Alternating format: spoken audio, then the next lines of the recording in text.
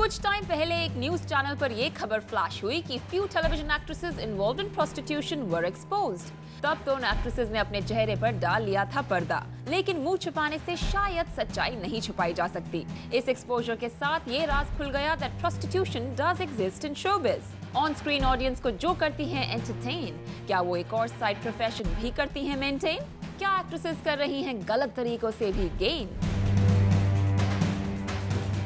वैसे तो Bollywood prostitutes are often shown in a good light but in real life कई heroines करती हैं बड़े बड़े बिजनेसमैन को entertain all for a big price for a whole night भले ही इस बात को खुलकर कभी डिस्कस नहीं किया गया है, लेकिन सोर्सेज की माने तो हाई सोसाइटी में ये बात है आम। हालाँकि खुद मधुर भंडारकर की फ़िल्म में इस बात को फोकस किया गया था। In the film Corporate it was shown कि कैसे एक बॉलीवुड हीरोइन ने पैसे के लिए एक पॉलिटिशियन के साथ गुजारी थी रात। जो साफ़ तौर पर बता रही थी प्रोस्टिट्यूशन और हीरोइंस का साथ। अब फिल्म्स में भी तो वही दिखाते हैं जो रियल लाइफ में होता है। और जब खुद फ़िल्म फ्रिटर्निटी भी दिखा रहे हैं इस बात को तो भला हमें क्यों ना इस पर यकीन हो? एस्टैब्लिश्ड एक्ट्रेसेस हो या स्ट्रगलिंग न्यू कमर्स इनकी होती है डिमांड इन द मार्केट और लगभग हर लेवल की एक्ट्रेस का फिक्स्ड होता है एक रेट और जो नहीं कर सकते afford the real heroines who may be on sale for a high price वो फिर सेटल करते हैं फॉर लेस बी टाउन में कई ऐसे एजेंट्स हैं जो अवेलेबल हीरोइंस की फोटोग्राफ से भरे ब्रीफ केसेस लेकर घूमते हैं among elite circles those who rich can get a top heroine for crore rupees in night and those with lower entertainment budgets can pay 1 lakh and get her lookalike casting couch है लेकिन अगर आपको उस पर लेटना है तो आप लेटिए नहीं लेटना मत लेटिए किसी लड़की को हीरोइन बनना है तो उसको कुछ ना कुछ कीमत देनी पड़ती है Nobody in this industry can forcefully rape you. casting couch is prevalent uh, is, is existing almost practically in every industry None, I don't think Dibakar or Anpasu or Imtiaz or me or anyone would give a role to anyone just because somebody is living with them. He tried every angle, every approach.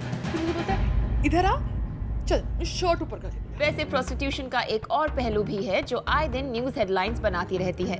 The ugly story of the casting couch जहाँ film industry के बड़े बड़े producers और directors इस बात से करते हैं इनकार, वहीं कई एक्ट्रेसेस इस बात से करती हैं इकरार। काम पाने के लिए भी कई बार डिमांड की जाती है उनसे एक price They physically exploit, they are asked to compromise. Film के बदले हीरोइंस को फिजिकली एक्सप्लॉइट करने की खबर ने तब क्रिएट की सेंसेशन जब स्ट्रगलर प्रीति जैन ने किया अपनी रेप की बात को मेंशन एक्ट्रेस पायल रोहातगी ने तो खुलेआम अपना एक्सपीरियंस शेयर किया विद मीडिया कि कैसे उन्हें ओपनली कहा गया to compromise to get a role in a film इधर आ चल शर्ट ऊपर कर तो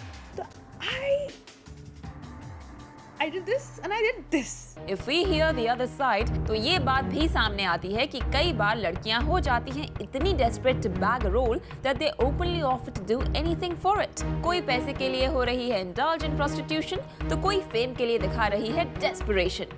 तो कभी फ़िल्म देने के लिए प्रोड्यूसर्स और डायरेक्टर्स करते हैं कॉम्प्रोमाइज की बात को मेंशन स्टोरी शायद अलग है मगर crux remains one glamorous B town में किसी ना किसी रूप में एग्जिस्ट करता है प्रोस्टिट्यूशन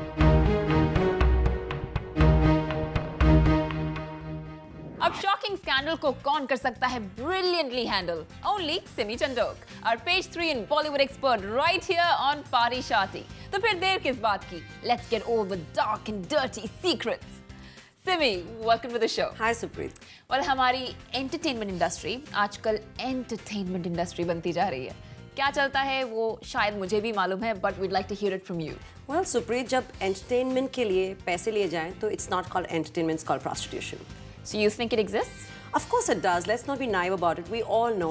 आज अगर एक ओवर द हिल एक्ट्रेस है, जिसने सालों साल कोई मूवीज़ नहीं किए हैं, दो तीन मूवीज़ हैं टू हर क्रेडिट और you have the starlets you know who been around Bollywood they've not had any hits and they still around there और उनके बहुत फैंसी अपार्टमेंट्स हैं फैंसी कार्स हैं चलो डिज़ाइनर कपड़े मैं बोलूँ फ्री में आ गए कहीं से, किसी डिज़ाइनर ने एक साल की यू नो सप्लाई दे दी for walking the ramp I can still understand but I don't think builders apartments free देते हैं, या कार वाले गाड़ियाँ फ्री देते हैं तो where are they finding the money to make all these installments and all this these payments so I think these are real E M Is easy money installments easy monthly installments that they do from time to time. But Simi, every industry, every profession is competitive. So why is this a Bollywood thing? Because uh, पहली बात Bollywood is about glamour, it's about good looks, it's about sex appeal. तो that probably gets to them secondly यहाँ पर जब कोई लड़की आती है so somewhere there is already a compromise in the mind that this is Bollywood and it's about compromise is here and thirdly I think जब these lonely girls they come from small towns and other cities and they come to Bombay और यहाँ पर आके struggle करती हैं and they trying to make it work they are already probably compromising with two और three directors और two three producers to get a movie तो कहीं पर लड़कियाँ यहाँ लोनली होती हैं they are from small towns they are alone in the city and अगर प्रोड्यूसर्स और डायरेक्टर्स के साथ वैसे ही वो कॉम्प्रोमाइज़ कर रही हैं so what difference does it make यहाँ पर uh, probably they're getting like you know five lakhs six lakhs a night so it's very tempting for them perhaps Well, that's serious money. You really think that's the kind of money that's out there? Supreet, I'm not talking about the big uh, league actors. I'm not talking about the super duper heroines. They probably go out in crores. I'm talking about the TV actors. In fact, मेरी थोड़े दिन पहले ही बात हो रही थी with uh, another TV reality star, and she was like, you know, जब तक मैंने इस particular girl को famous से infamous नहीं बनाया था, she used to charge one lakh a night, और अब वो छह लाख रुपए कमा रही तो मैंने बुराई क्या किया? I'm like, wow, and that's when it struck me that this is such a bitter reality about Bollywood and um, television industry. It's still very similar to the whole casting couch thing we've been listening to, right?